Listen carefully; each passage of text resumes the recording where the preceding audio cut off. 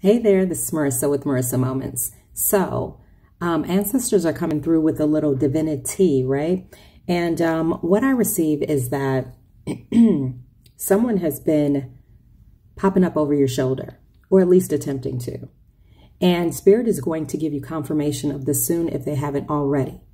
Um, now, somebody that you haven't been speaking to, dealing with any of those types of things, is just going to randomly pop up in your realm of existence, right? And just in a sense of awareness, just in a sense of, I see you, you are there, okay. It's kind of like when you run into somebody at the store that you don't really vibe with and you just really don't want to have any type of interaction with.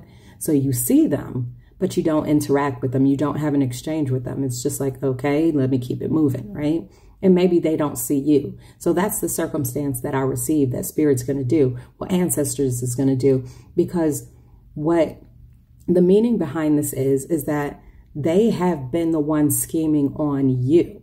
They have been the ones talking about you. They have been the ones bringing you, uh, what I see is dragging you through the mud is what I receive. But that's not your concern, right? And the only reason Spirit is bringing this up to you is because on occasion, that person may pop up in your head and you don't even know why, right? And this is Spirit giving you the why.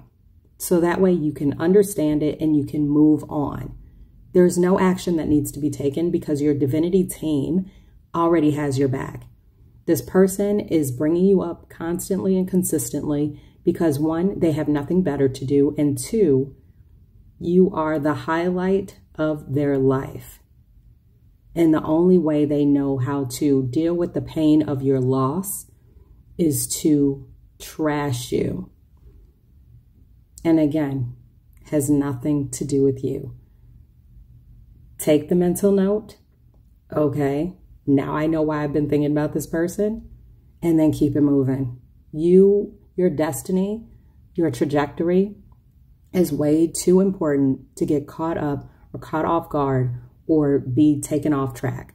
Stay in alignment, stay on your path, stay focused. You've got this.